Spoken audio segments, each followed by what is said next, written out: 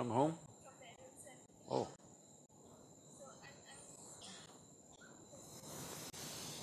Bearing a child, please sit down. It is not that children are wrong, we were all children some time ago. It's not about children being right or wrong, it's a stupid question, it's, it's not even a thought, okay? It's a silly thing to think whether they're right or wrong. It is just that there was a time when a woman would easily have a dozen children in her lifetime. Hmm? And it was normal. Three, four of them died, seven, eight of them lived. That was normal. Now, most women who have children here probably have two. Some of them slipped through and they became three.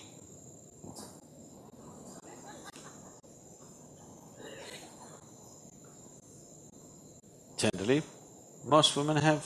Is there are there lots of women leave the women who are over fifty, sixty years of age, the younger woman, is there anybody who has four, five children here? Almost nil, isn't it?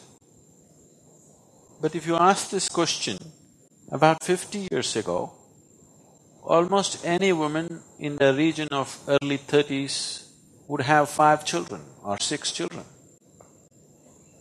So you… somewhere you got… got your sense in place, you decided that instead of having six, let's have two or one. So if your sense can work to that extent, right now we are in a place where if we have to feed, clothe and offer a decent life for the seven billion people, we need, for the standards that we are thinking of, for the standards that most, pe most people are aspiring for, we need to outsource our resources from at least another three planets Earths. We need at least three more planets. We could do that, it's just that they aren't there. If they were there, no problem, we could have gone and towered one planet close to us and use that planet. But there isn't any other. So till we find such one, it's good to hold your reproduction, isn't it? Till we find extra planets where we can export our people. It's good to hold back your reproduction, otherwise nobody is going to live well on this planet. It doesn't matter what technology you bring, it doesn't matter what you do, nobody is going to live well on this planet if you continue to increase. When I say continue to increase, I want you to understand the volume of increase that we have caused. In the beginning of twentieth century, we were only 1.5 billion people on this planet. In one century, in 110 years, we are reaching towards 7 billion people and we are technologically more capable than ever before. What thousand men could do, could do, today one man can do because of the machines and other things that we have. Now United Nations predicts that by 2050 we'll be 9.6 billion people. At 9.6 billion people, even if we live at… even if uh, the earth is exploited at its present rate or much more, each one of us have to live with forty percent less resource than we are living right now.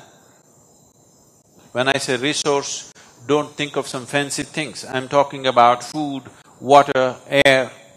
These resources, you will have to live with forty percent less. That means nobody is going to live well.